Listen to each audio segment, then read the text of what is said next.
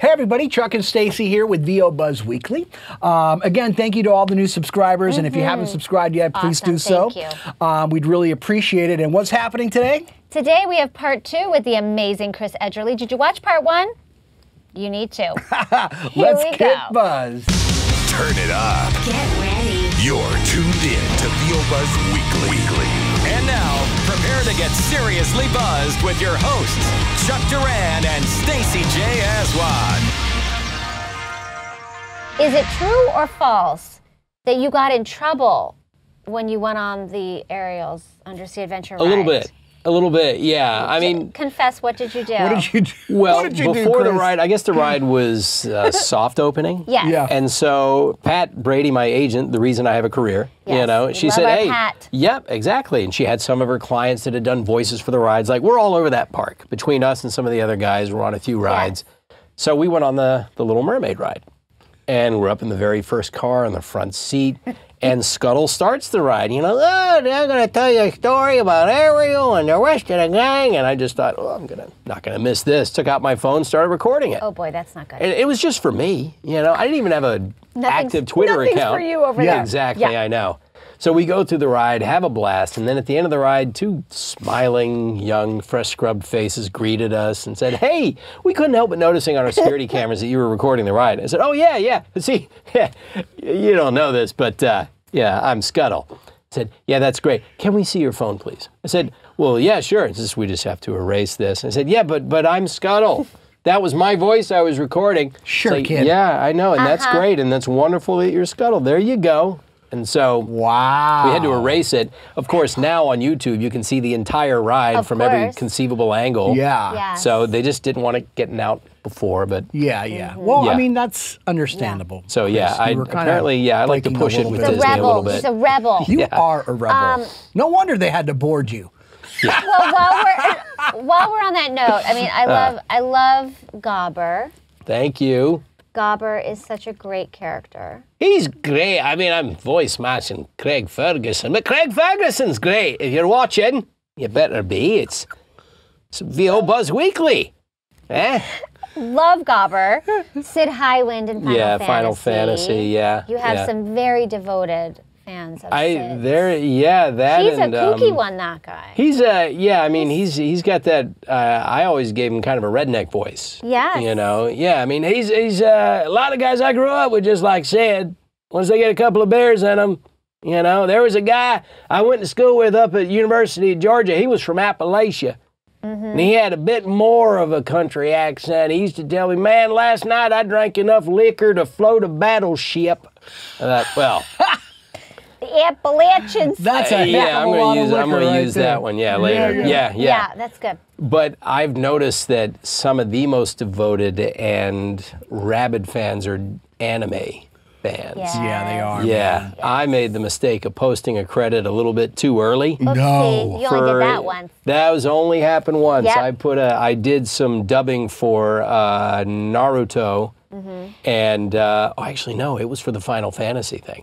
And before the movie got released, I just sort of put it up on IMDb that I was Cid Highwind, and Pat called me up and said, "Did you Uh-oh. did you put up your Cid Highwind credit?" I said, "Yeah, yeah, because it's official, right?" He goes, "Well, they haven't announced the cast Oopsie. yet. This is like back in 04, and I just didn't know that you didn't do that." Yeah, Yeah. yeah, yeah, yeah. And I thought, okay, I'll take it down. I mean, pfft, how big of a deal could it be? Nobody's going to know. And sure enough, there was a 14 page message board already on some anime fan site about weighing in on your. who the hell is Chris Edgerly? Oh. And why is he doing Cid Highwind? And and then someone found my original stand-up comedy headshot and put it up. This is what he looks like. and they found my voiceover demo, snatched it offline, and said, This is what he sounds like. He does orange juice commercials. Like, well, yeah, it was a Tropicana spot. Yeah. That paid my Okay, pension. that Right? paid me a That was my of money, pension eh? credit that year, buddy. You know, so yeah, I realized yeah, they do care. Yeah. You don't mess with the. They care lots. Yeah. Yeah. They're and serious about their anime. yeah. Yeah. I do this character named Hidan in Naruto, who's the most despicable, evil,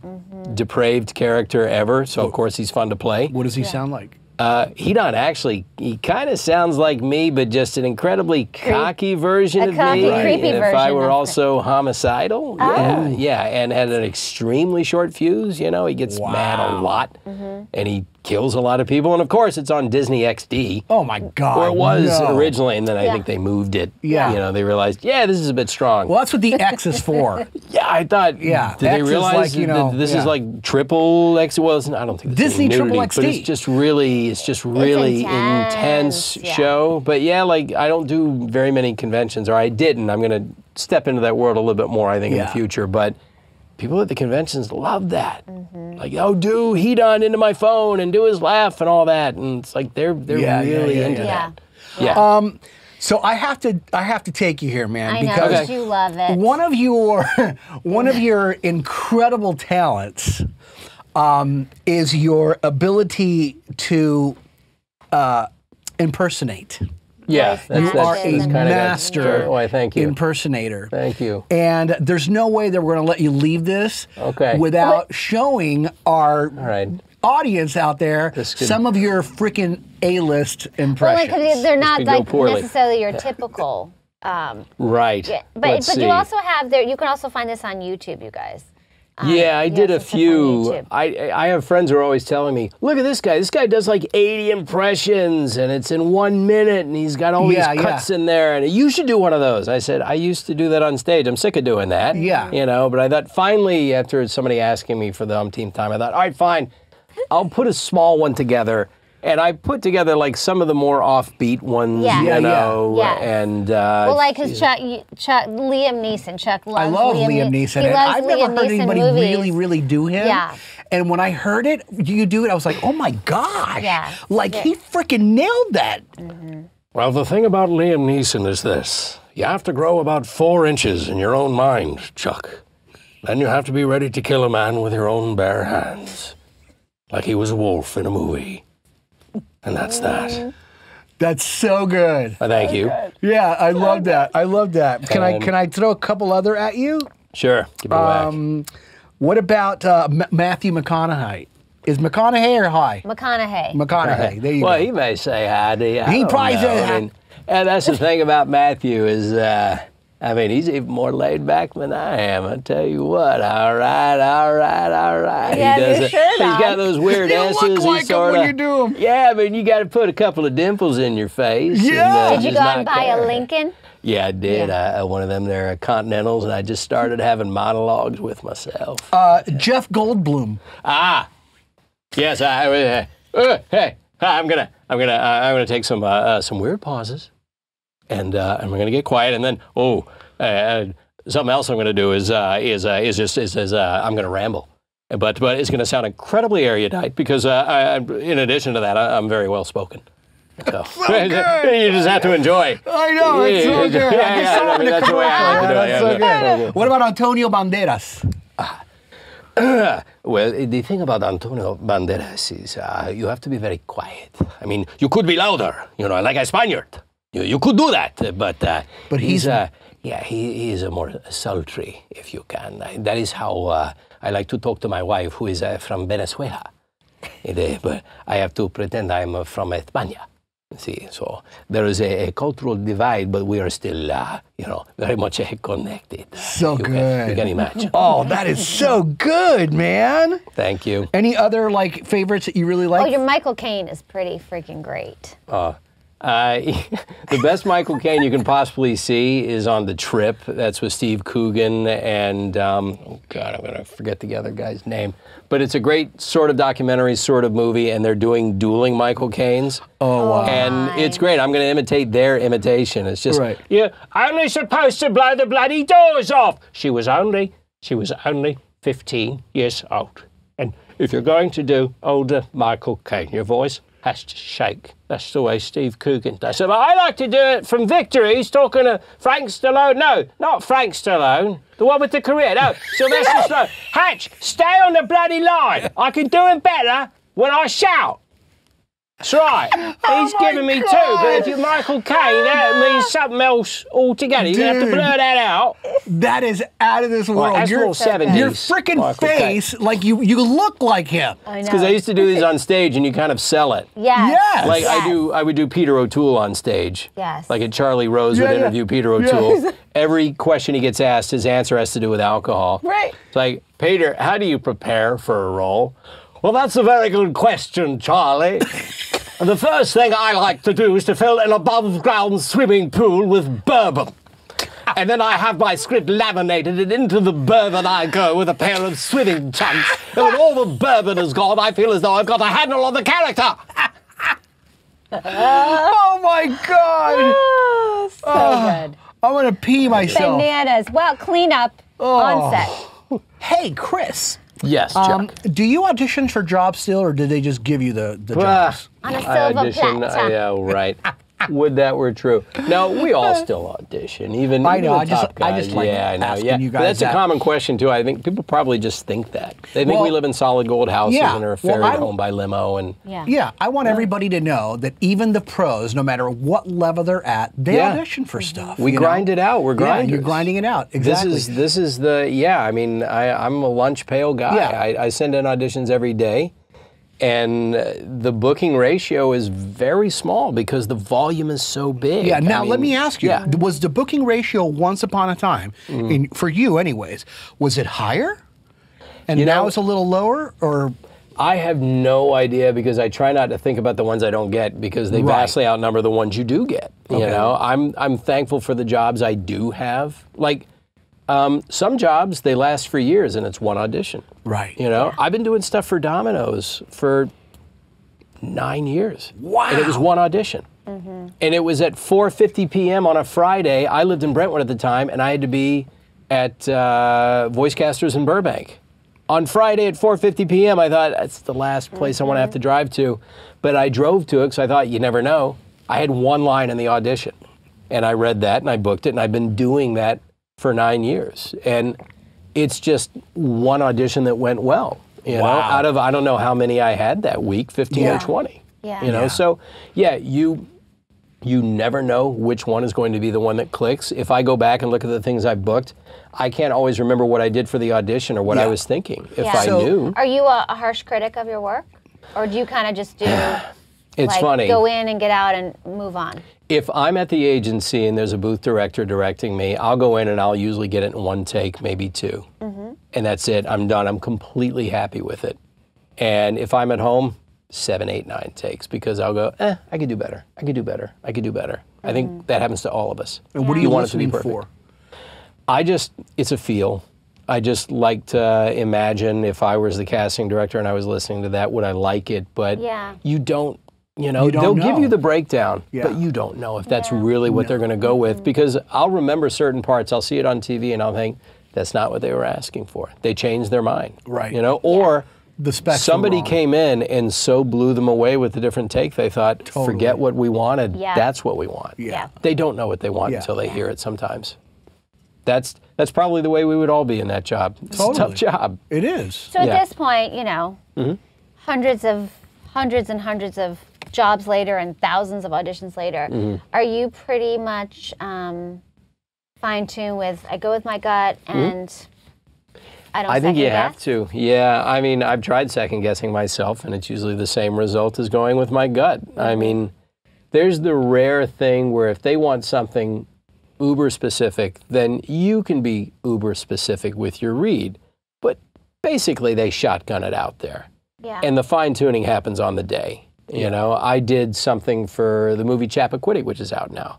And I read um, just a couple of different lines with a Boston accent. And when I went in to do the gig, I did it with an ADR group, and then they separated me for that one thing. And that's when they started to tweak. All right, try this, try this, try this. I didn't have the ability to do that for the audition. I gave Right. them one thing that I thought I could do well. They heard it and thought, okay, that's what we need, and we can work with them from there. So, as specific as you want to get, uh, I think when you get too specific, you're giving them less than you think you're giving them. If you get tied into one kind of read, you're going all out with that. That's great. It might work. But sometimes it's better to let them know that you could go either way. Put Yeah, in more than one take if the you corner. can. Yeah, if you can do more than one thing, and if they say it's okay, do it. Mm-hmm. You know, give them more than one way to, to think of you doing the job. Do you clean your auditions up?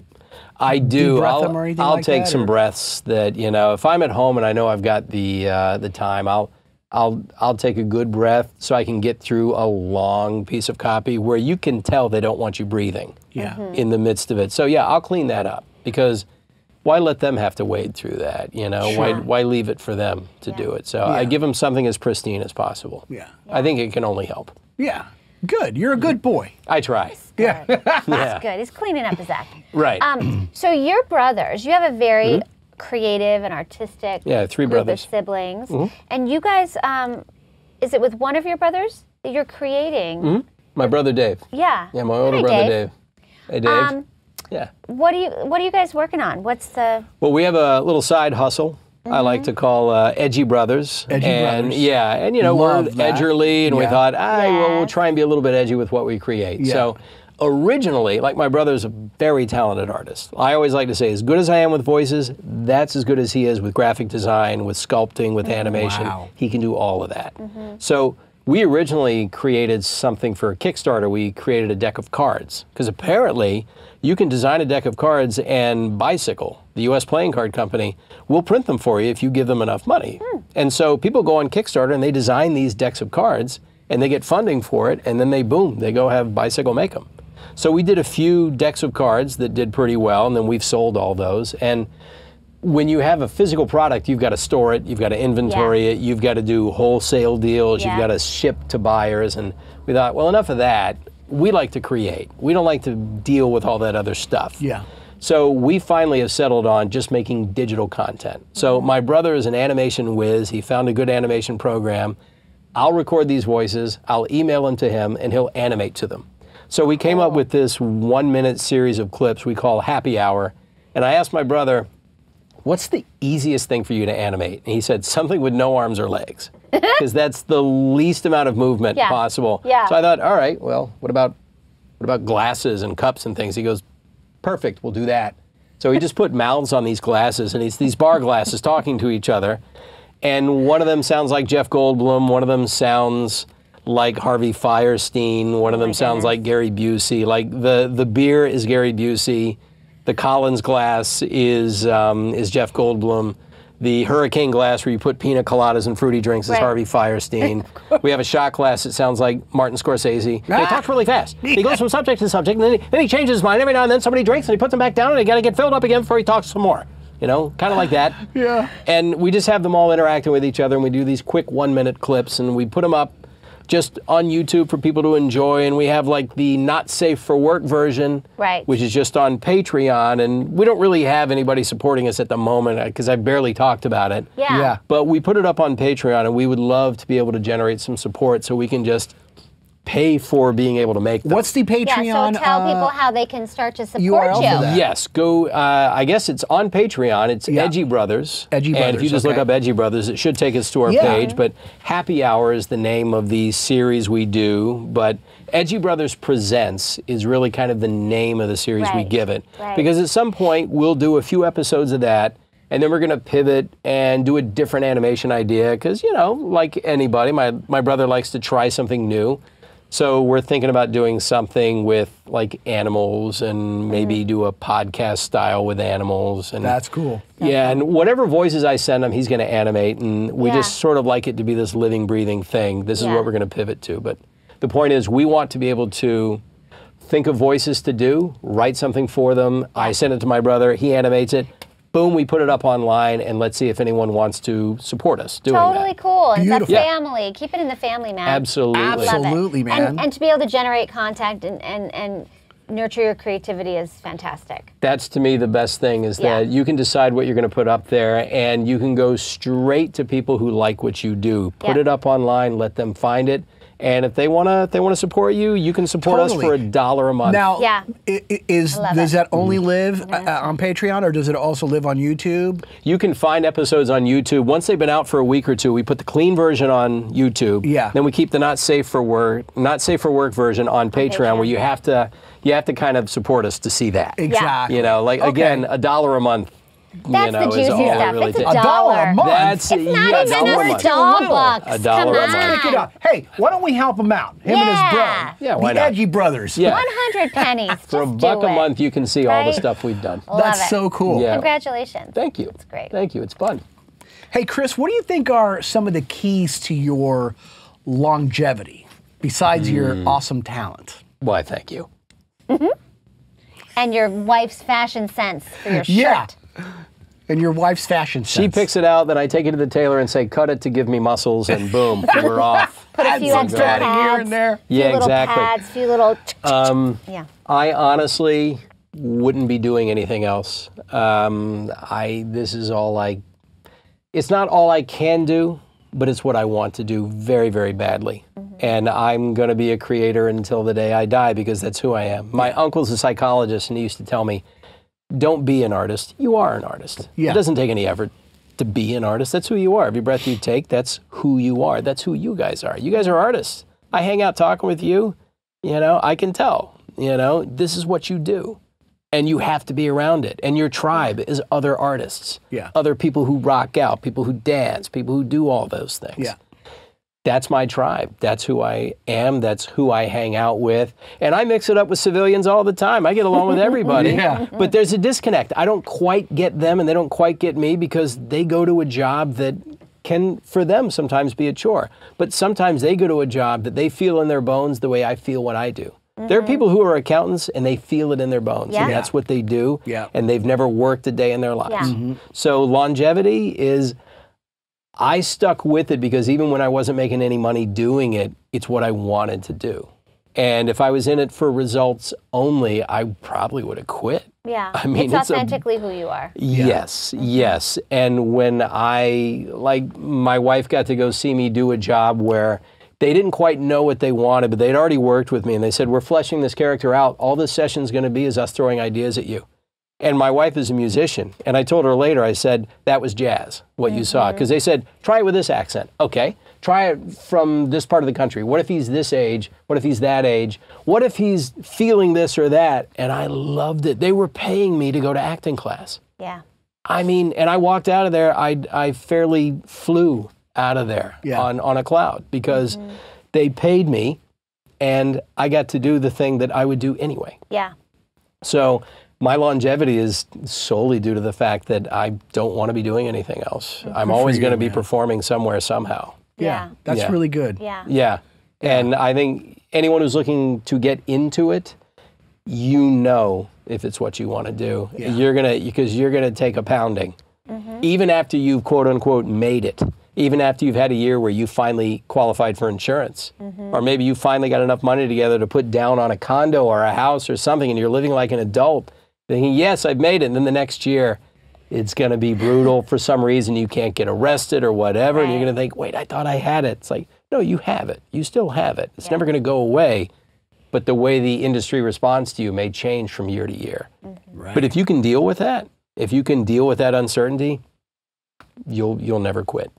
yeah. You know, Yeah. love it. Because that's who you are. that's who it's you like are. sti- I it's like it, not breathing. You know. Yeah, yeah, yeah, If yeah. that's what it is for you. So good. yeah, Yeah. yeah. Let's hear some more impressions. No, I'm just kidding. Um, Um, we, Come on. We have a mystery question for Okay. you, Oh boy.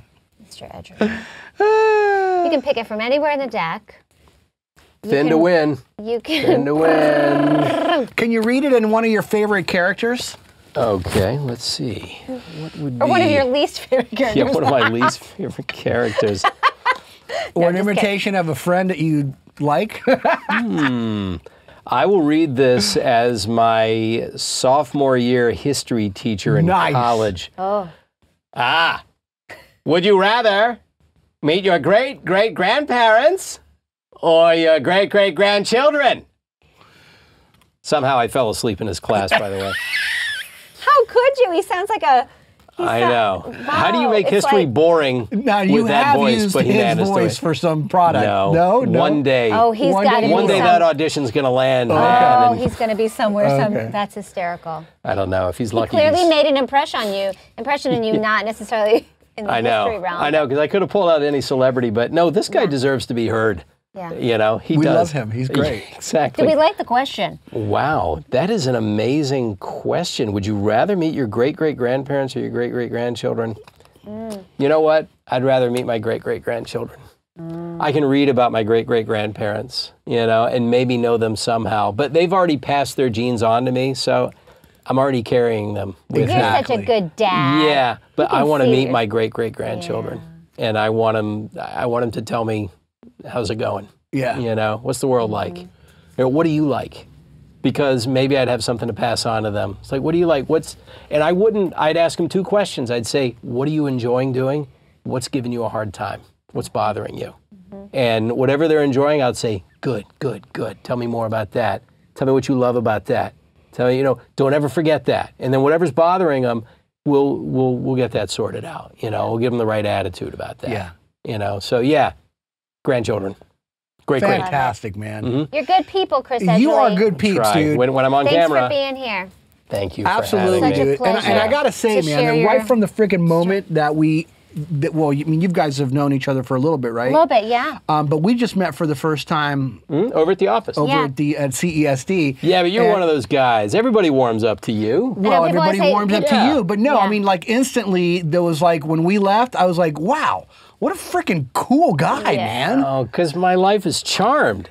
Yeah. I was- no, because yeah, right I- away you were like, You're a "Hey, great uh, why don't you guys come down to this thing and blah blah?" And, I, and you were uh, like instantly giving us gifts. You know what I That was mean? great. Which was so cool. Thank well, you. Yeah. thank you. I mean, look, people have done it for me, and I do it for other people, and and you just that's that's make the world go round. Well, I mean, now we have your fantastic journey on the internet forever. Absolutely. Yes. Chris Yay. Edgerly, ladies and gentlemen. Go Thank check out his you. Thanks for work. Go. Chuck check out his Patreon page. Thank you. Give him lots of dough. And Edgy we'll see you Brothers. guys Always next time. Edgy Brothers Here, presents. Yeah, thank you. And Chuck and Stacey. Hey, this is Chris Edgerly, and I just got buzzed with Chuck and Stacey, and so can you. Not really, but you know, you can if you watch, but you can't be here. That's for me. They want me to say something funny after that. Do you want me to ABC it? I can give you three different voices. I got nothing. I got nothing. Uh, proper mic technique with Chris Edgerly. Don't shout your voice. Just read it the way you would normally read it, and then on-camera technique is don't let your eyes cross. Has it happened? You're Lindsay. No on camera for me. Well, that concludes our wonderful two-part episode with the awesome Chris Edgerly. We What a cool him. Guy, man. So, so, so cool. Go out and support his stuff, man, because he's really, really a great guy. Yes, And uh, leave your comments below for us. Absolutely. And follow us all on Facebook, Twitter, and Instagram. We love you guys. Thanks for watching. And just remember, you, You always have time for a little buzz. Come